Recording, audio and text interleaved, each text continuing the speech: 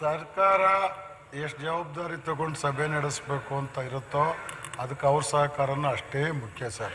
ಇದರಲ್ಲಿ ನೀವು ಸಿದ್ದರಾಮಯ್ಯನ ಕರಿಬಾರ್ದು ಅನ್ನೋ ಯಾವ ಭಾವನೆ ಇರಲಿಲ್ಲ. ಉಪನಾಯಕರು ಬಂದು ಕೂತು ಮಾತಾಡಿ, ನೀವೇ ಬನ್ನಿ ಪರವಾಗಿಲ್ಲ ಲೀಡ್ರ್ ಅಂತ ಅಂತಂದಿದ್ದಕ್ಕೆ ನಾನು ಹೋಗಿದ್ದೀನಿ. ಇಲ್ಲದ್ರೆ ಅವ್ರಿಗೆ ಗೌರವ ಕೊಟ್ಟು ಅವ್ರನ್ನ ಇಲ್ಲಿ ಕರಿಬಾರ್ದು ಅಂತ ನಾವು ಹೋಗಿದ್ದು ಬಿಟ್ಟರೆ ಅವಮಾನ ಮಾಡೋಕ್ಕಲ್ಲ ಸಿದ್ದರಾಮಯ್ಯ ಅಂದರೆ ಹಿಂಗೆಲ್ಲ ಭಾವಿಸ್ಕೊಂಡ್ರೆ ಹಿಂಗೆಲ್ಲ ಭಾವಿಸ್ಕೊಂಡ್ರೆ ನಾನು ಉತ್ತರ ಹೇಳೋಕ್ಕಾಗಲ್ಲ. ಇಲ್ಲ ಸರ್, ಅಲ್ಲೇ ಕೂತು ಮಾತಾಡಿ ಅವರು ಸಿದ್ದರಾಮಯ್ಯನವ್ರನ್ನ ಕರೆಸ್, ಸ್ವಲ್ಪ ಸಿದ್ದರಾಮಯ್ಯನವ್ರನ್ನ ಕರೆಸ್ಬೇಕಂತ ಚ, ಕೃಷ್ಣ ಬೈರೇಗೌಡ್ರ ನನ್ನೊಂಚೂರು ಕೇಳಿ, ಚರ್ಚೆ ಆಯಿತು, ಪರವಾಗಿಲ್ಲ ಬಿಡಿ, ನಾನೇ ಹೋಗಿ ಮಾತಾಡ್ತೀನಿ ಅಂತೇಳಿ ಕಾದರ್ ಜೊತೆ ನಾನು ಹೋಗಿರೋದು ನಿಜ.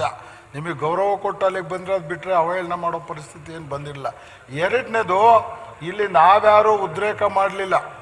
ಮೂರನೇದು, ಸನ್ಮಾನ್ಯ ಅಧ್ಯಕ್ಷರಾಗಲೇ ಹೇಳಿದ್ರು, ಅರ್ಧ ಗಂಟೆ ಚರ್ಚೆಗೆ ಇದನ್ನು ಅವಕಾಶ ಮಾಡಿಕೊಡ್ತೀನಿ ಅಂತ ಅವ್ರು ಹೇಳಿಬಿಟ್ಟಿದ್ರು.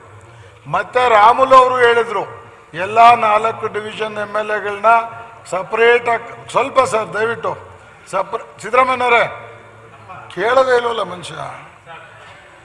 ರಾಮುಲು ಅವರು ಸ್ಪಷ್ಟಪಡಿಸಿದ್ರು ನಾಲ್ಕು ಡಿವಿಷನ್ ಅವ್ರನ್ನ ಕರೆದು ಅಲಾಯ್ದ ಒಬ್ಬೊಬ್ಬ ಎಂ ಆ ಎಲ್ಲ ಎಂ ಎಲ್ ಎಗಳು ಕರೆದು ಇದನ್ನು ಸಾಲ್ವ್ ಮಾಡ್ತೀವಿ.